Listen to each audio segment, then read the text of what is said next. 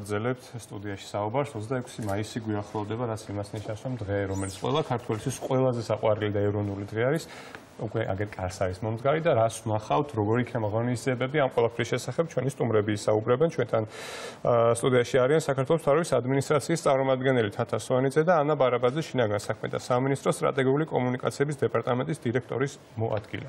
გამარჯობა. გამარჯობა, მოგვიყევით ამჯერად გაიგეგმება ამ დღეს, იმიტომ რომ ყველა ველოდებით 26 მაისს ყოველთვის. მოგესალმებით, მივესალმებით თქვენ ტელემაყურებელს. ჩვენთვის ძალიან მნიშვნელოვანია და სასიხარულო ის, რომ უკვე მე-12 წელია ეს დღესასწაული აღინიშნება და გახდა სახალხო დღესასწაული. მანამდე 26 მაისი ერთი ჩვეულებრივი დასვენების დღე იყო მოქალაქეებისთვის და არ იყო საყოველთაო ზეიმი. წლების განმავლობაში 26 მაისი ყოველთვის იმატებს ახალ-ახალ და განსხვავებულ თემას და წლევანდელი ჩვენი თემა გახლავთ რაც გვიამაყება და გვაერთიანებს. მოგეხსენებათ ეს იმ ხელა თემაა, რამაც მოგცა იმის შესაძლებლობა, რომ თბილისსა და რეგიონებში მთელი საქართველოს მასშტაბით კიდევ უფრო მეტად წარმოვაჩინოთ, გავაცნოთ და შევაყვაროთ როგორც ადგილობრივ მოსახლეობას, ასევე რა თქმა უნდა, ქვეყნისთვის ქვეყანაში ჩამოსულ სტუმრებს, ჩვენი კულტურა, ტრადიციები, ის იდენტობა, რითიც ვამაყობთ და რითიც მოვედით აქამდე.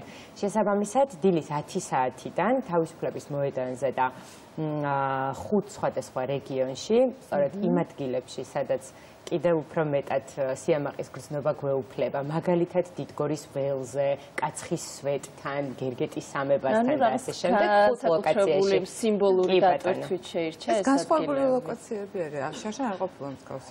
ყოველ წელს ფიცის დადების ცერემონია იმართება განსხვავებულ ადგილას და წელსაც ეს ადგილები შეირჩა პირველად, მანამდე არასდროს დაუდია ახალწოულებს ფიცი. შესაბამისად, 10 საათზე ტრადიციულად ესეთი ამაღელვებელი ღონისძიებებით დავიწყებთ დამოუკიდებლობის დღის აღნიშვნას, ხოლო 11 საათიდან უკვე რუსთაველის განზირზე დაწყებული ღვინით, რომლითაც ძალიან ვამაყობ თავისუფლების მოედნიდან რომ გამოვუყვებით რუსთაველის განზირს, გაგრძელებული კულინარიის ზეიმით, იმიტომ რომ ამითიც ქართველები ძალიან ვამაყობთ. და მნიშვნელოვანი და განსხვავებულია წელს გალა კონცერტი, რომელიც საღამოს 8 საათზე გამართება. ბევრი ვიფიქრეთ თუ რა შეიძლება და ყოფილიყო გამაერთიანებელი საქართველოსი და რა თქმა უნდა ეს გახლავთ ფოლკლორი.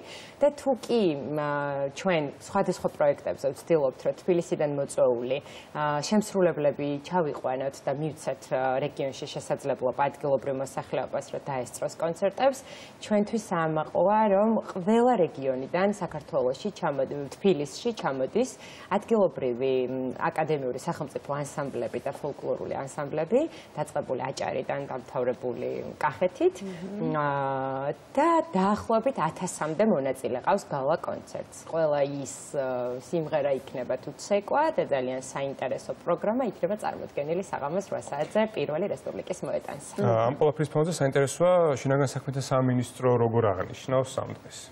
სწორედ აღინიშნა 26 მაისი არის ძალიან მნიშვნელოვანი ალბათ თითოეული ქართველისთვის და ეს არის თარიღი, რომელსაც ყველა გვაერთიანებს და ერთიანად საამაყვარი თითოეული ჩვენთაგანისთვის. წელს შინაგან საქმეთა სამინისტრო გორში მასპინძლობს სტუმრებს, აღნიშნავს ძალიან დიდი ღონისძიებით. ტრადიციულად გვექნება წარმოდგენილი შინაგან საქმეთა სამინისტროს დანაყოფების ტექნიკა, აღჭურვილობა, ფორმები, ასევე ძალიან ბევრი გასართობი და შემეცნებითი აქტივობა იქნება.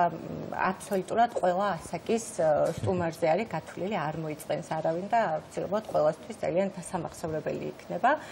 მოკლედ ჩამოთვლი იმ კუთხეებს ყველა დანაყოფს ექნება თავისი სივრცე, რომელიც მაქსიმალურად წარმოაჩენს თავის საქმიანობის სპეციფიკას, მაგალითად საპატრულო პოლიციას, გარდა ტექნიკისა ექნება უსაფრთხო ქალაქის კონცეფცია, რომელიც ორიენტირებულია საგზაო მოძრაობის უსაფრთხოების ცნობიერების ამაღლებაზე, დაცვის პოლიციას ექნება ძალიან ბევრი გასართობი ელემენტი, 112-ს ექნება ძალიან საინტერესო სტენდი, სადაც რეალური ზარების მოსმენა შეიძლება იქ მისულ სტუმრებს და მოისმენენ იმ ადამიანებს, რომლებიც სხვა ადამიანების სიცოცხლე სიცოცხლე გადაარჩინეს და ის ძალიან ემოციური არის ხოლმე ჩანაწერები ჩანაწერები რეალური ჩანაწერები რის საშუალებითაც გადარჩნენ სხვა ადამიანები.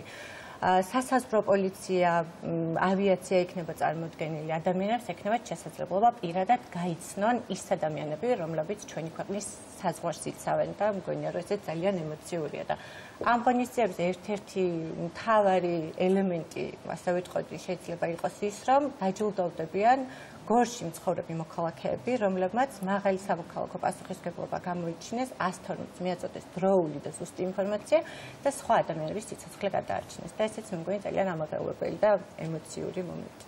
ძალიან კარგი წამახალისებელი ჟესტი. კი, ნამდვილად. მოკლედ, ფიცის დადების ცერემონია 10 საათიდან გამართება, ხო? როგორც კი ბატონო. თავისუფლების მოედანსა და ხუთ სხვა ხო, ეს ისტორიულ როგორც ადგილას. ეს ყველაზე გაიმართება. ამაღელვებელი მომენტია ხოლმე პირდაპირ ეს შეცა ერთდროულად რა, ამდენი ადამიანი დებს ხოლმე ფიცს და ხო ეს მართლაც ყოველ წელს ამას ყველა ველოდებით. კი ბატონო. დიდი მადლობა. წარმატებას თქვენ. გისურვებთ. საინტერესო ამბებისთვის, ყველა მემზადებით 26 მაისისთვის. კი, როგორც ყოველთვის. ჩვენ რეკლამის დროა რეკლამაზე გავიდეთ.